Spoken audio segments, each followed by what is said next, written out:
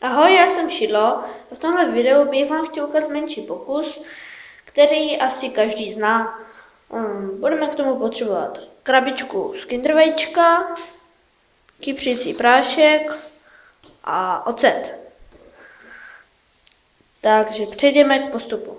Kypřící prášek si nasypeme do krabičky, já to sypu do toho ledovýčka, toho menšího, aby potom, když to budu zaklapávat rychle, to zaklapnu, tak uh, aby se mi to tam hned sypalo, jak kdyby.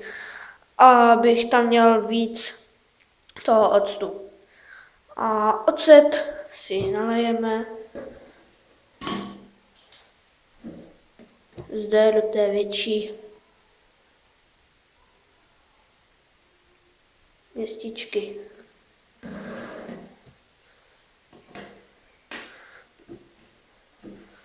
Tak, toto si udělám. A můžeme přijít k testu. Takže mám to takhle. A rychle zaklapnu.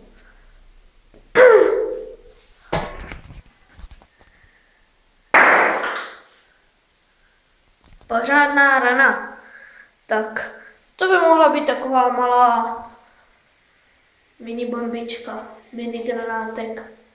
Děkuji za zhlédnutí tohoto videa a každý like potěší a každý dislike opraví. Děkuji a čau příště.